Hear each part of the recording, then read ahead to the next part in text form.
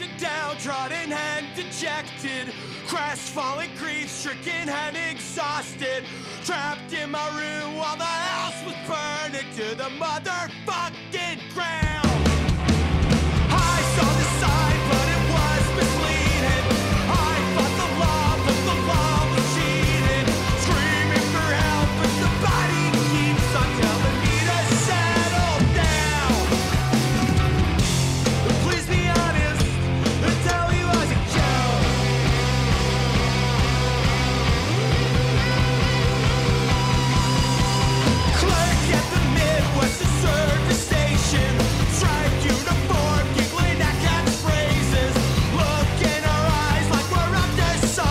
know